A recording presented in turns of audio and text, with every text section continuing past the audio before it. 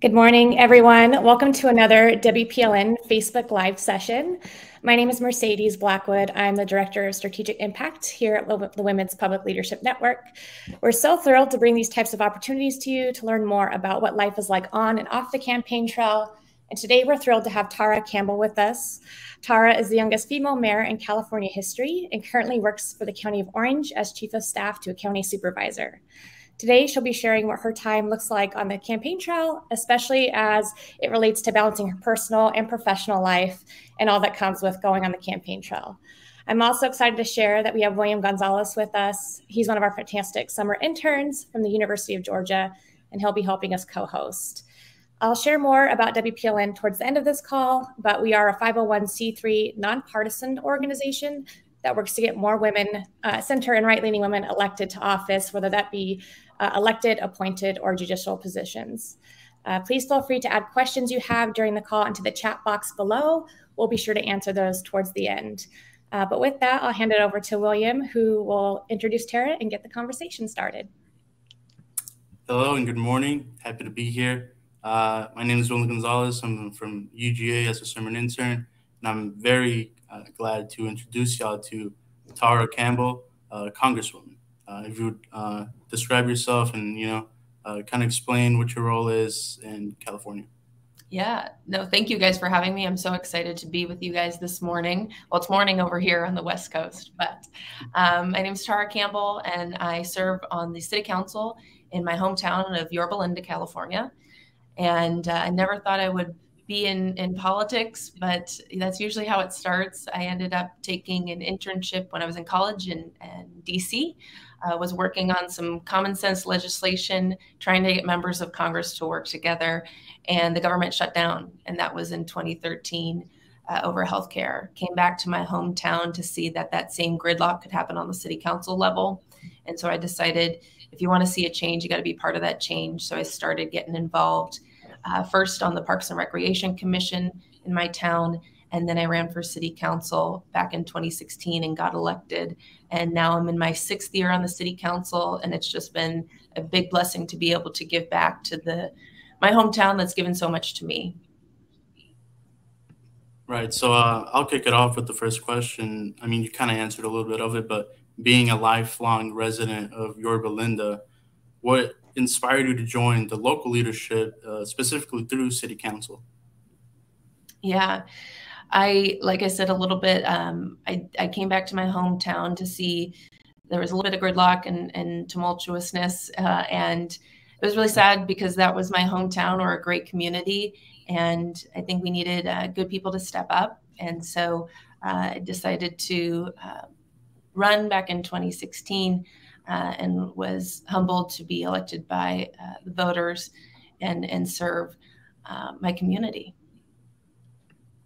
uh, a follow up with that, um, being from that hometown, did you see that your constituents appreciated somebody that was local, that was you know coming back home and kind of fighting for their place?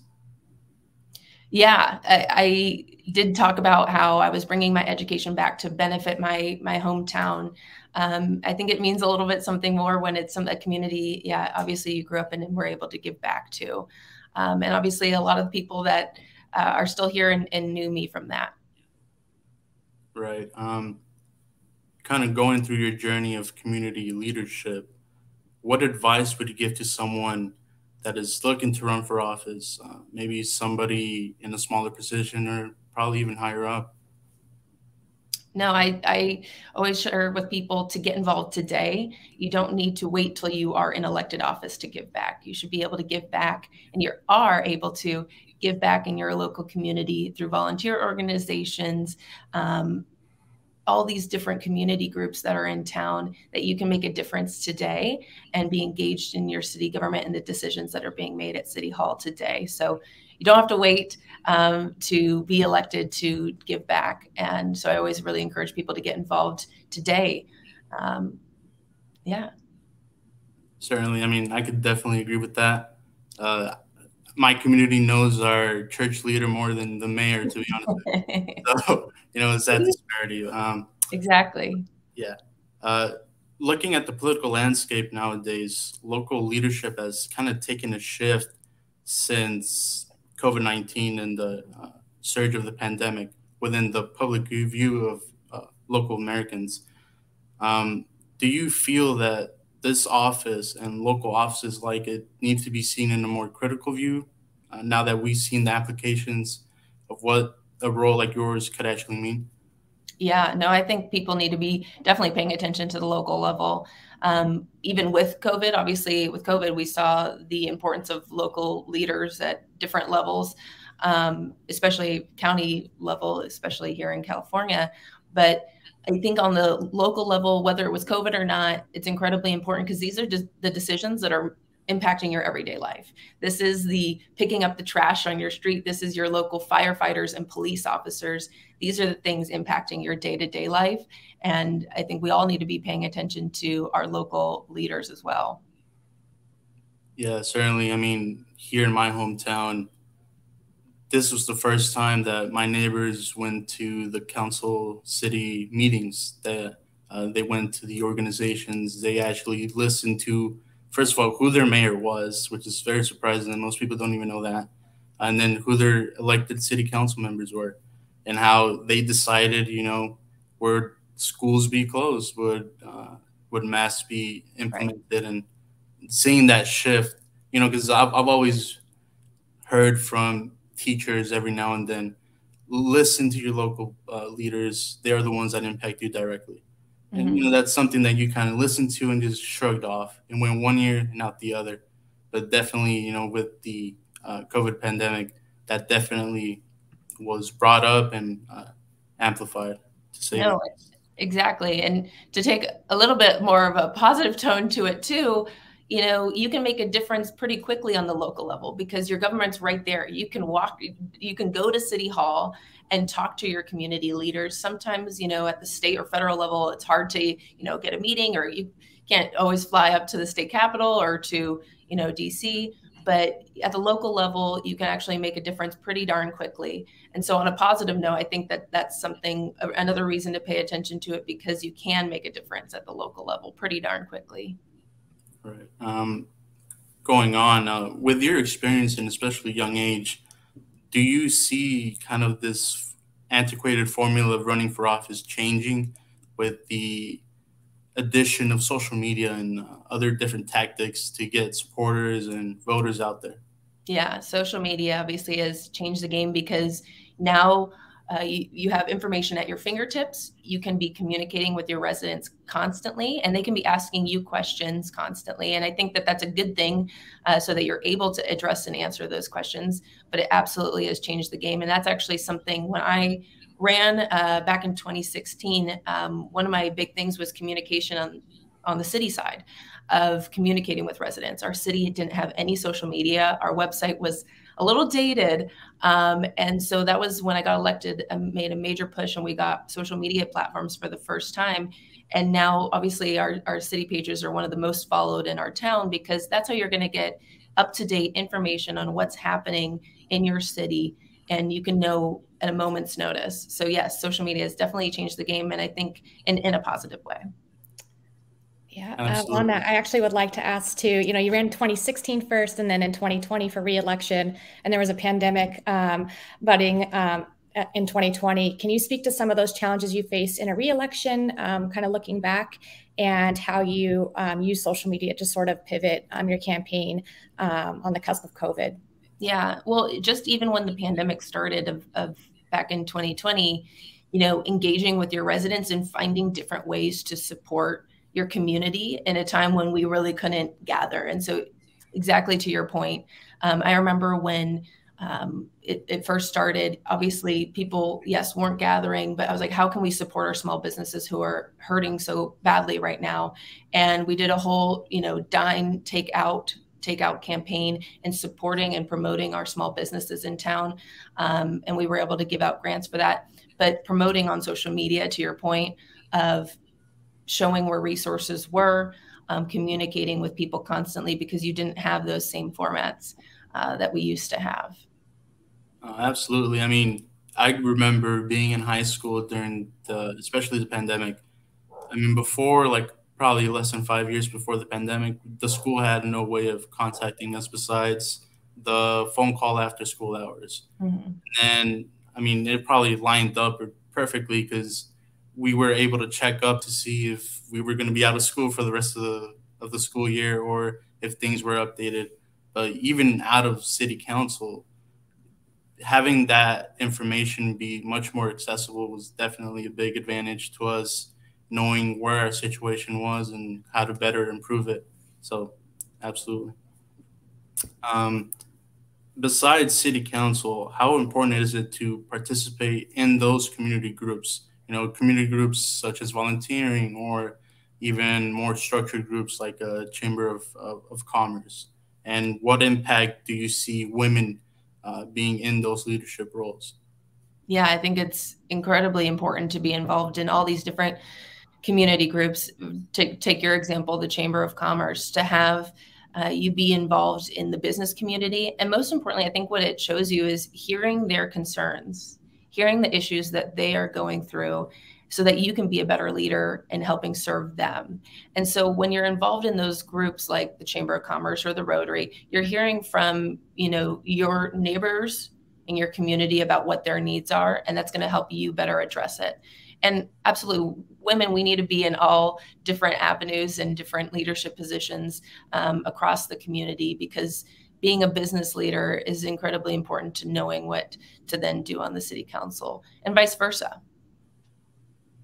Right. I mean, from personal experience, being somebody of Hispanic origin, seeing that diversity really does matter, especially when you're trying to see who really runs your life and who controls the business aspect and all the different aspects of uh, of running a, a city.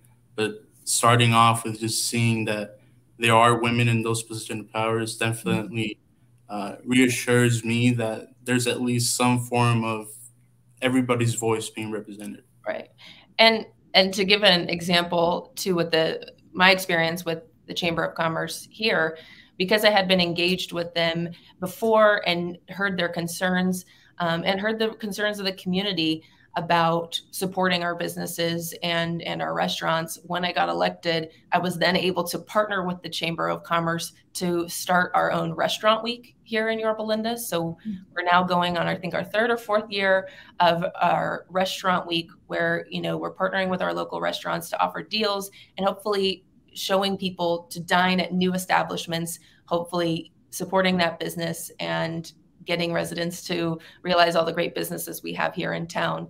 But it's because I was able to know and hear from those residents, the business community and residents, and then turn that into a policy or a project going forward to help benefit the town.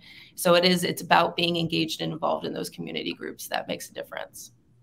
Certainly. Um, going on with engagement and community leadership, what would you say is the impact of having young people, especially in those leadership groups, I mean, an example that uh, you were involved in was the Young Civic Leaders Association. Can yeah. you give a little insight in what impact a young person could do through those organizations? Yeah.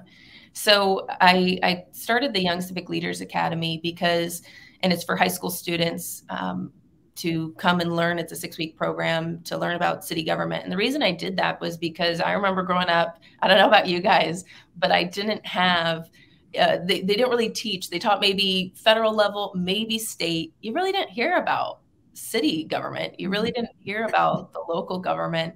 And like I said before, that's what really impacts your day to day life. And you can make a difference today, you know? So um, I wanted to create this program for high school students to have also a positive experience. I think a lot of people are obviously turned off by government, and I totally understand that. Um, but I wanted it to kind of demystify City Hall encourage them to come in and learn about the city and how it all works and then show them how they can be a part of it and be a part of the decisions that are even being made at city hall.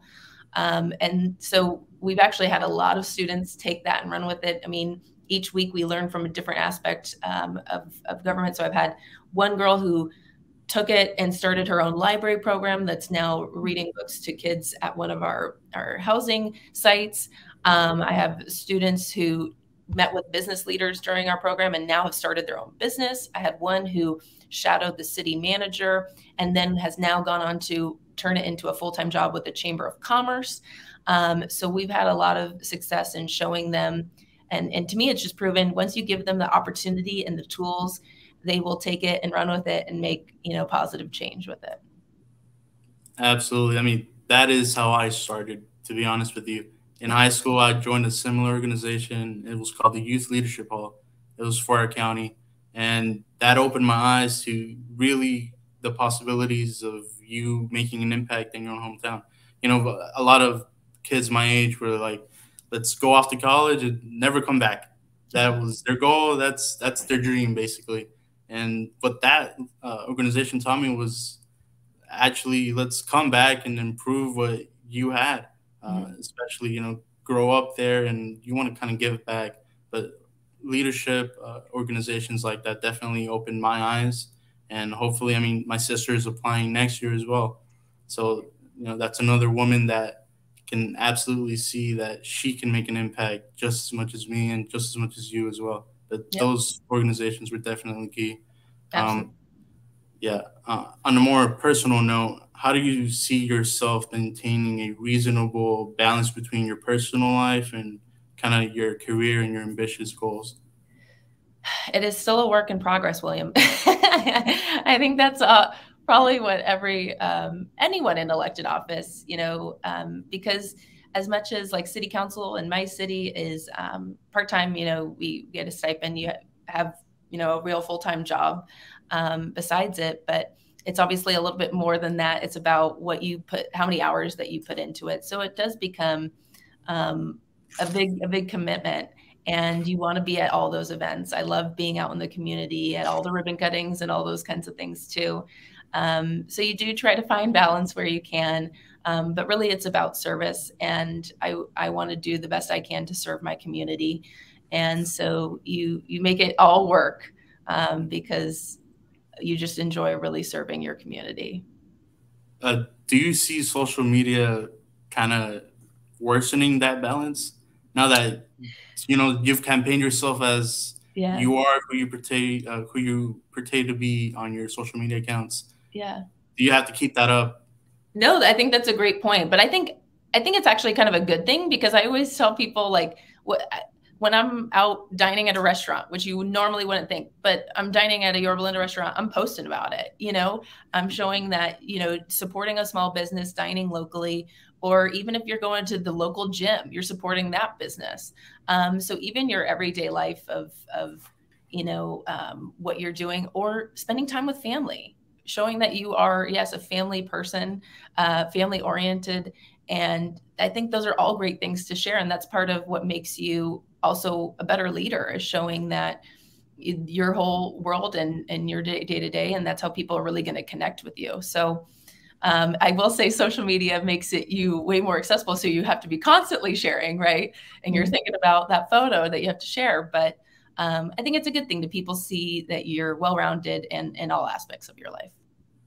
Uh, adding on to that, I know that you work with uh, other people in, in, in, your city council. Um, some probably are a lot older as uh, than yourself. So, do you see that drastic change and how they are not able to do such a adaptation, or something that is uh, very needed in this time of age? Um, I think everybody brings their different skill sets. You know, um, obviously, something that I brought um, when I when I got elected to the city council at 23 um, you know, I brought that younger perspective, which I think was a, a good perspective, but none of them, um, you know, challenged that. I think they were all in agreement that we needed to be more connected with our community. We needed to do these uh, renovations to our technology front. Um, making and when i say technology i'm not just talking social media i mean the efficiency that comes in a city government when you're um, innovating and using technology. I mean, something as simple as we used to be, our city used to be on paper time cards. I mean, when we're talking about creating now a system that is electronic so that we are just more efficient at City mm-hmm. Hall. So I think everybody honestly is understanding the importance of technology and innovation um, and connectivity with people. Um, and every yeah, everyone I think really sees the value in that. Right. Um, adding on to that, you know, being a young conservative specifically, does that inspire your own perspective on leadership in the political landscape of this generation? Yeah, I always, um, I have a colleague that usually says, if you're not at the table, you're on the menu. And I mm-hmm. kind of use that analogy for us as young people. I think we do need to be at the table because the decisions that are being made today, we're going to be living with right they're going to impact us the most because we're we got a lot of time and the impacts of those policies sometimes you don't see it for a couple years right um, we're going to be the ones living with the decisions that are being made today so i do think mm-hmm. it's important that young people are at the table and you know as a, a conservative leader I think you know something, especially here in California, that we're going through is the incredible overtaxation and cost of living. And like when I say talking about living with the decisions that are being made today, um, that's incredibly important for us as young people to stay engaged and involved because, again, just these decisions are monumental and we're going to be living with them. And so we need to be at the table. Certainly. I mean, I can definitely agree with that. Being a, a conservative myself and being a minority, you see that opposition off the bat. I mean, especially, you know, going up and uh, expressing your views, you definitely see that opposition. But I always tell even my own siblings, if you as a group of people, uh, let that be women or any other classification, uh, especially race, uh, give your vote off to a certain party or a certain ideology off the bat without thinking about it, you lose that power. You lose that voter power. Uh, you lose the power that you have as a U.S. citizen. And having the young conservatives kind of take uh, larger hold of of different different positions and especially the growth of minorities uh, as well as uh, conservatives you know meeting in the same aisle was definitely very surprising for me but uh, it was a growth that I saw as a good thing and I mean it must be challenging being a young conservative in a state like California as well. It is, but I will say they give us a lot of opportunities to talk about issues on a personal level. I'll give you an example of um, in California, obviously, everyone in the country is experiencing the increased cost of gas, right? And we in California have uh, the sad distinction of having the highest gas prices. And in California, we the state legislature approved, you know, gas tax increase years and they increased it even in July when we're at record prices. We have a $100 billion surplus in the state of California, and they still increased it. Um, it's conversations like those that to most people, and that impacts pretty much everybody in California, right? The gas prices. So it, it oper- opens opportunities to have conversations about issues like that that are impacting everybody and kind of questioning why is the state legislature, why is, you know, the governor doing this? Um, and so it does open up conversations for, I think, where conservative leaders can speak out and, and talk about policy issues like this isn't right, you know? So I think there's a lot of opportunity, uh, even here in California. Certainly. Um, you know, being a, uh, the youngest female and uh, the youngest female mayor in California history, what advice do you have for the next generation of young women looking to become leaders like yourself? Get involved. Get involved today. Um, you really can make a difference, um, even if it's on the local level or you you know go on to other uh, things in the future. But um, whether it's running for office or, like we said, being a leader in your local community, whether it's Chamber of Commerce or Rotary or Lions Club, whatever it may be, you can make a difference. We need uh, we need you. We need you in those leadership positions. So I hope that uh, you will go out and, and do it. Excellent. Tara, thank you so much. I think we'll move into some questions from our audience now.